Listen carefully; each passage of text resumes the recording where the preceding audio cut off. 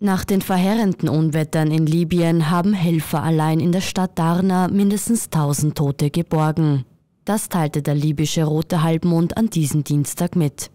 Die Zahl der Toten dürfte auf mehrere tausend zunehmen. Der Ministerpräsident der Regierung im Osten Libyens, Osama Hamad, hatte zuvor erklärt, man rechne alleine in Darna mit mehr als 2000 Toten, wo Überschwemmungen nach Sturm Daniel zwei Dämme zum Bersten brachten und ganze Stadtteile wegschwemmten.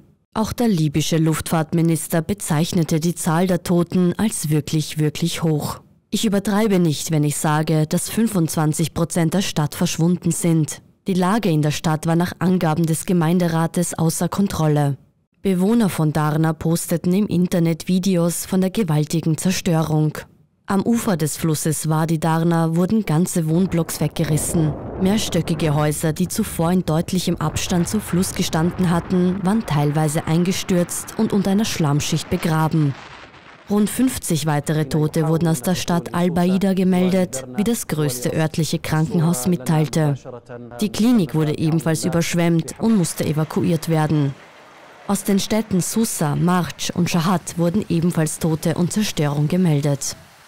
Die Türkei organisierte inzwischen die Entsendung von Rettungskräften. Man habe Flüge mit Bergungstrupps samt Rettungsbooten, Zelten und Versorgungsgütern an Bord organisiert teilte der türkische Präsident Erdogan auf der Online-Plattform X mit. In Libyen war nach dem Sturz von Langzeitmachthaber Muammar al-Gaddafi im Jahr 2011 ein Bürgerkrieg ausgebrochen. In dem ölreichen Staat ringen bis heute zahlreiche Milizen um Einfluss. Derzeit kämpfen zwei verfeindete Regierungen mit jeweils einem Sitz im Osten und Westen um die Macht. Alle diplomatischen Bemühungen, den Konflikt friedlich beizulegen, scheiterten bisher.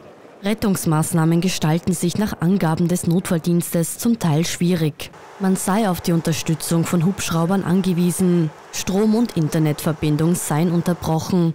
Die betroffenen Regionen wurden zu Katastrophengebieten erklärt.